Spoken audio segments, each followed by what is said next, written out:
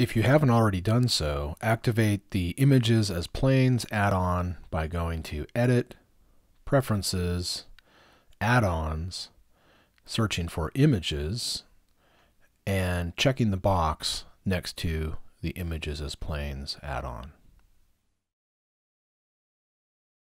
Now you can go to the Add menu and choose Images, Images as Planes.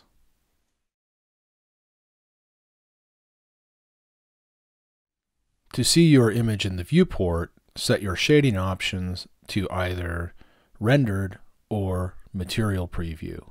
I'm going to use rendered so I can see the shadows. Move your image in the viewport by hitting G, then X, Y, or Z. Rotate your image by hitting R, then X, Y, or Z. You've probably noticed that our shadow doesn't match the silhouette of our character.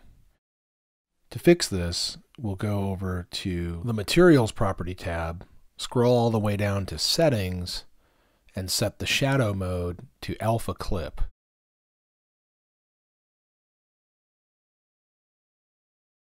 While we're here, change the blend mode to Alpha Clip as well.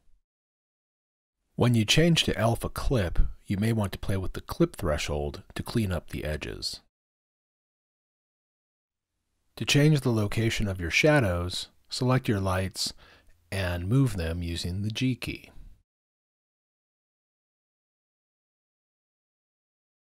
If you notice a gap between your shadow and the image plane, you can fix this by selecting your light and going to the Light Properties tab then finding the shadow settings, opening those up, and adjusting the bias.